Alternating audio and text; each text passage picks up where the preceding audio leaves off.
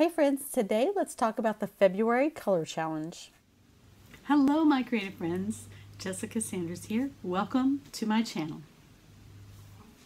And welcome to Art Exploration with Jessica, Kellie, and Lisa. That's me, plus Kellie Chassie and Lisa Hetrick of Indigo Jade Art. We got together and decided to team up to bring you inspiration, exploration, playtime, and fun with your art. We've created a Facebook group, which I would love for you to join in with us. We're going to be there chatting and inspiring and learning from each other.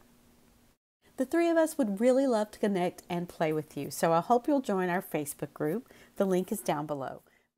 All right, let's talk about our February color challenge, which is purple. Yes, we are exploring purple for the month of February.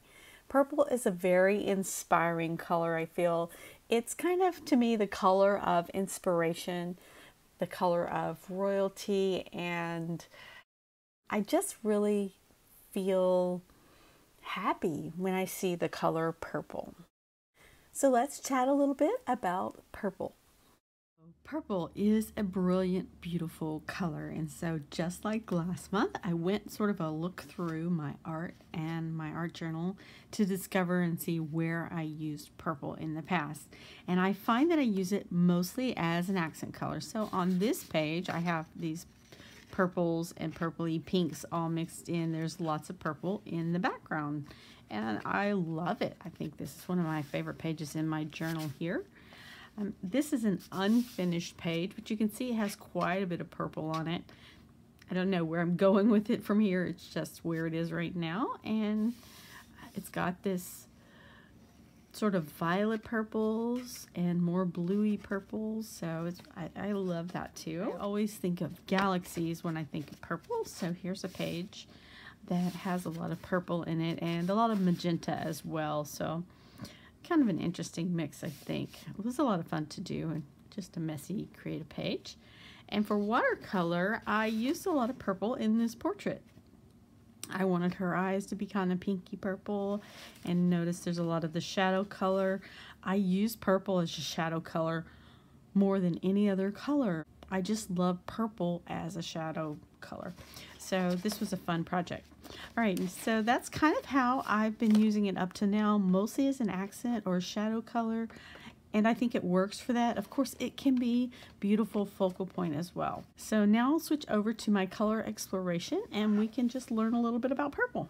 Okay, I'm just going to focus on watercolor today and I'll share with you the purples that I have in my Mission Gold palette. So I really only have two purples in my Mission Gold palette and one of those is Red Violet. And it reminds me a little bit of Barney, maybe? so there's Red Violet. It's a nice pinky purple, so it's a very warm purple. Let me just add a little bit of water just to see how that, see it really almost turns to pink when it's flowing. That flow a little bit. There we go. So that is Red Violet, and that's in my Mission Gold palette. And I also have Bright Clear Violet. So that's this one. And it's a very different purple. These are very different from one another, but they are in the same purple color family. So it's pretty interesting how we can just think of purple. And I'm sure when you think of purple, there's a certain color that comes to mind. And it might not be either one of these. It might be one of these. I tend to think more purple in this way. And this does, like I said, reminds me of Barney a little bit for more. Now, if I mix these two purples, I think we'll get something pretty interesting. So I'm just going to just test that right here. And I think we'll get some really pretty purpley colors. And I'm just going to let them mix on the paper here. Pull that out. So you have really nice colors there. So even with just two purples, you can get a really nice range of color. I, I, I think they're really pretty. we have purples and the complement or the opposite on the color wheel of purple is yellow. So I'm using permanent yellow light for my complement. It's, this is a really clear yellow. Now my water is already a little bit purpley, so it may affect this color just a little because yellows are so, I don't know, they're so light and clear. I'm going to put this yellow down first and then I'll add purple to it so we can see. Now, of course, it's going to neutralize it. And also, these purples are much stronger than this yellow. So let me just put a little bit here. I'll mix it with the red violet there. I think you'll get more of an orangey, peachy kind of color, but I'm not sure, honestly. Let's add some more yellow here. They're like, no, we're not mixing. Okay, those two just don't want to mix. If you notice, they're sitting beside each other in the water. Okay, let's try our bright clear violet here mixed with the yellow. Now the yellow flowed straight into that. That's pretty interesting. It was just quite a different effect. Every color is different, so pretty interesting to see. I think how that yellow just was bossy and pushed that purple around. But you will get a more neutral color when you mix them. But it takes a lot of the yellow to make a difference really in the purple. Again, it's bossy. Look at that.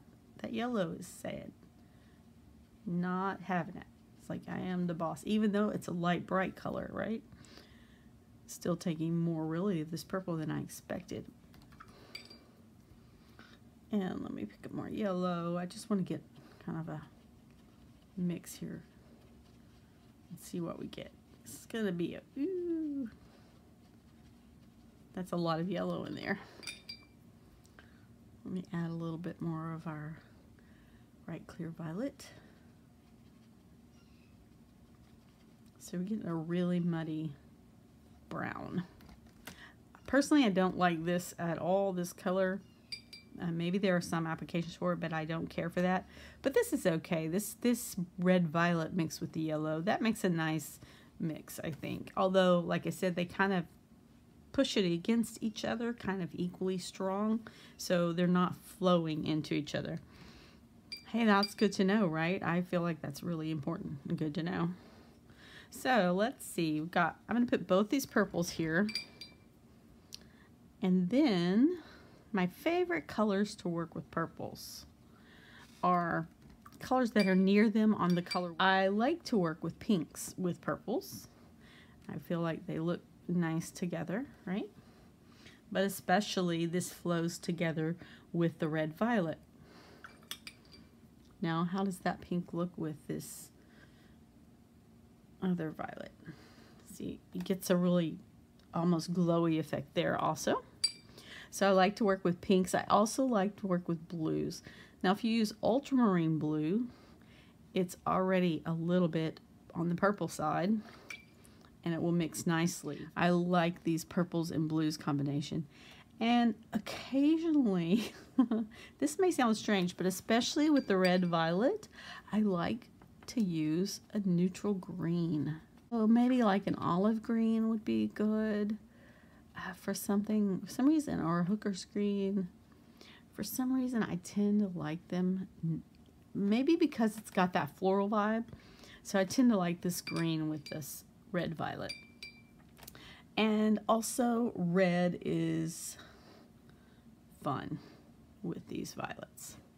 So I like to use, I guess, a lot of different colors with the purple because I do tend to use it, like I said, as a background color or sort of a sort of a shadow color. So anyway, pretty cool looking and really interesting effects there. So that is my Mission Gold purples in watercolor and I think they'll be fun to use. I'm thinking of doing a galaxy painting for that. But we'll just have to wait and see. So thanks so much for watching. Don't forget to subscribe to Kellie and Lisa's YouTube channels, and I'll see you in the Facebook group.